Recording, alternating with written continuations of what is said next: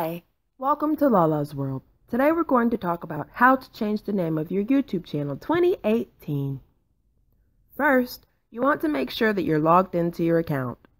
Next, click your channel icon at the top right corner. Click on YouTube Beta Studio. Unless you have Creator Studio, then click on that. For those of you who have YouTube Studio Beta, go ahead and click that and then scroll down until you see Creator Studio Classic. Go ahead and click on that and then click Channel, then Advanced.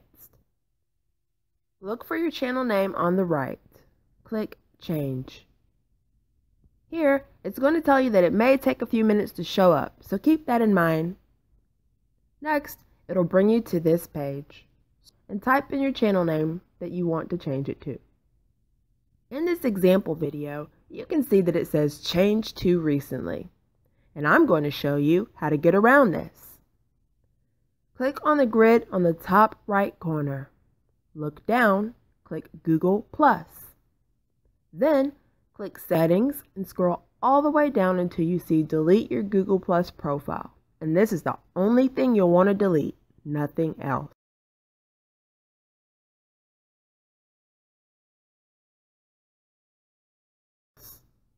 Next, you'll need to log in. After you log in, it will bring you here.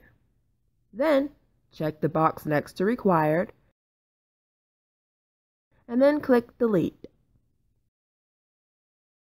Now, go back to your Google Plus account and refresh the page. When you look to the left, you'll see join. Go ahead and click that. It'll ask you to create a public Google Plus profile. Here, you change your name to what you want it to be, click I understand, and create a profile. Once you're done with that, go back to YouTube and refresh the page. Then you'll see your new channel name. Well, thanks for watching how to change your YouTube channel name when it says change too recently 2018. Be sure to comment, like, subscribe, share, and don't forget to check out the other videos on this channel.